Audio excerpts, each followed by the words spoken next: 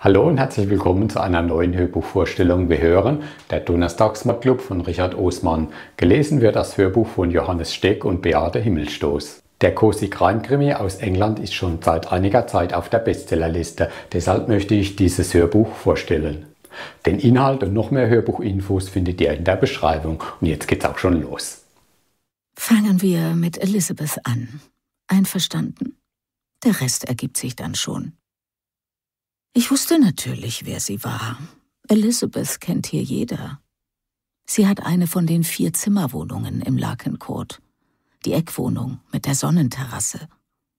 Und einmal war ich im selben Quiz-Team wie Steven, der aus diversen Gründen bereits ihr dritter Mann ist. Ich saß beim Mittagessen. Ein, zwei Monate ist das jetzt her. Und es muss Montag gewesen sein, weil es Shepherd's Pie gab. Sie wolle mich nicht bei meiner Mahlzeit stören, sagte Elizabeth, aber sie habe eine Frage an mich zum Thema Stichwunden, wenn ich nichts dagegen hätte. Ich sagte, wieso denn? Nein, fragen Sie nur oder etwas in der Art. Ich werde mich nicht immer ganz einwandfrei an alles erinnern, das schicke ich lieber gleich voraus. Jedenfalls klappte sie daraufhin einen Ordner auf und ich sah ein paar getippte Seiten und Ränder von alten Fotos. Sie kam ohne Umschweife zur Sache. Ich solle mir ein Mädchen vorstellen, sagte sie, das mit einem Messer attackiert worden war. Ich fragte, mit was für einem Messer? Und Elizabeth meinte, höchstwahrscheinlich einem ganz ordinären Küchenmesser. Nirosta. Das sagte sie nicht, aber das war meine Assoziation. Dann sagte sie, ich solle mir vorstellen, dass auf dieses Mädchen drei oder viermal eingestochen worden war, gleich unterm Brustbein. Rein, raus, rein, raus. Sehr scheußlich. Aber Arterie sei keine durchtrennt worden. Sie redete ziemlich leise, weil überall um uns gegessen wurde, und irgendwo zieht selbst Elizabeth die Grenze. Da saß ich also und stellte mir Stichwunden vor, und Elizabeth wollte wissen, wie lange es meiner Meinung nach dauern würde, bis das Mädchen verblutet sei. Ach ja, das sollte ich vielleicht dazu sagen. Ich war viele Jahre lang Krankenschwester. Nicht, dass Sie sich jetzt wundern. Und Elizabeth wusste das offenbar irgendwoher, weil Elizabeth alles weiß. Sonst ergäbe ihre ganze Fragerei ja gar keinen Sinn. Im Moment fehlt mir noch die Übung im Schreiben, aber das wird schon noch, versprochen. Jedenfalls ähm, tupfte ich mir den Mund, bevor ich antwortete, so wie man das manchmal im Fernsehen sieht. Dadurch wirkt man intelligenter. Probieren Sie es aus. Dann fragte ich, wie viel das Mädchen gewogen hatte. Elisabeth suchte in ihrem Ordner, fuhr mit dem Finger eine Seite hinab und las vor, dass das Mädchen 46 Kilo gewogen habe. Was uns beide aus der Bahn warf. Denn weder sie noch ich waren uns sicher, was das umgerechnet hieß. Ich hatte so ein Gefühl, dass es um die 23 Stone sein mussten. Zwei zu eins schwebte mir vor. Oder waren das Inches und Zentimeter? 23 Stone könne auf keinen Fall stimmen, sagte Elizabeth, denn sie habe ein Bild der Leiche in ihrem Ordner und sie sei definitiv kein Koloss. Sie tippte noch einmal auf die Seite und sagte dann in den Saal hinein, kann jemand Bernard fragen, wie viel 46 Kilo sind? Bernard sitzt immer für sich allein, an einem der kleinen Tische vorn beim Lichthof, Tisch 8. Streng genommen tut das hier nichts zur Sache.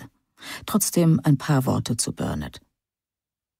Bernard Cottle war sehr nett zu mir, als ich neu in Coopers Chase war.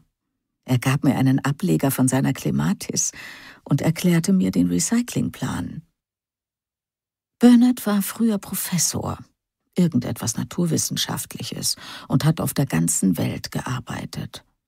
Er war sogar in Dubai, bevor irgendjemand sonst von Dubai gehört hatte.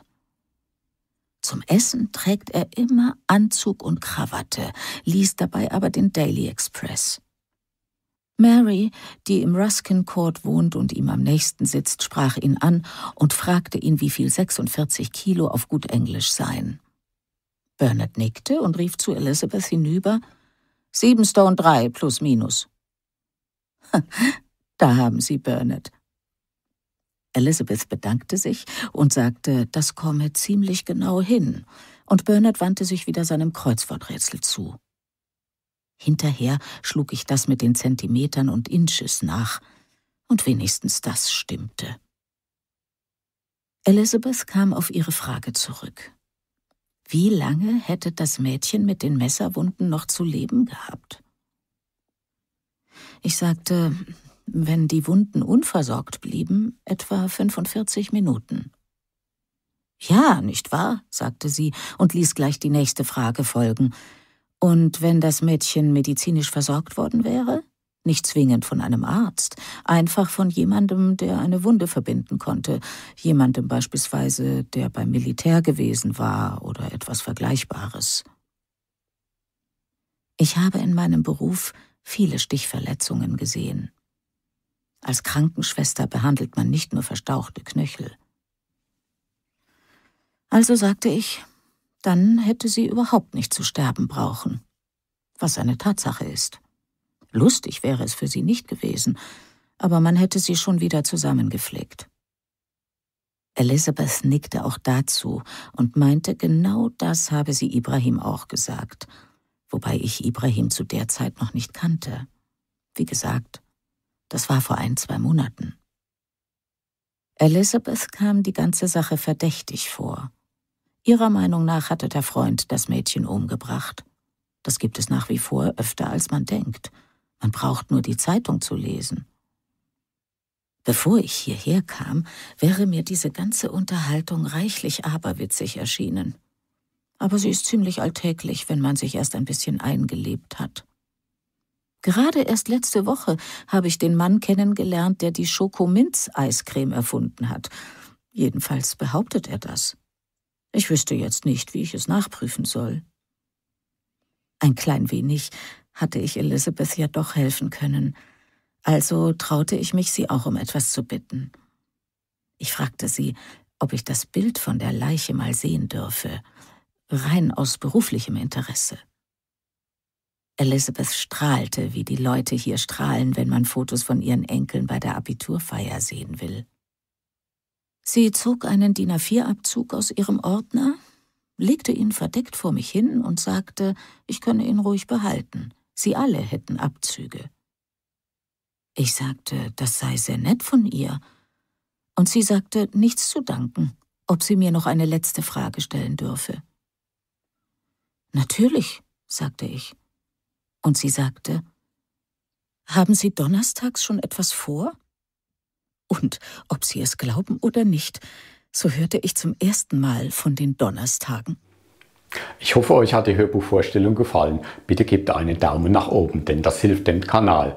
Wenn ihr das Hörbuch bereits gehört habt, dann schreibt doch einen Kommentar, wie euch das Hörbuch gefallen hat. Was mögt ihr am liebsten, Cozy Crime oder Psychothriller? Ich bin eher der Thriller-Typ, mag aber auch ab und zu Cozy Crime. Dieses Hörbuch könnt ihr kostenlos im Probeabo downloaden. Schaut in die Beschreibung, dort findet ihr Links und weitere Hinweise. Das gekürzte Hörbuch hat eine Laufzeit von 10 Stunden und 17 Minuten. Das ungekürzte Hörbuch geht circa eineinhalb Stunden länger und hat eine Laufzeit von 11 Stunden und 44 Minuten. Das Hörbuch ist am 3. Mai 2021 bei Hörbuch Hamburg erschienen. Hier rechts findet ihr wie immer eine weitere Hörprobe. Bitte lasst auch ein Abo da und die Glocke aktivieren, dann werdet ihr immer über neue Hörbücher informiert.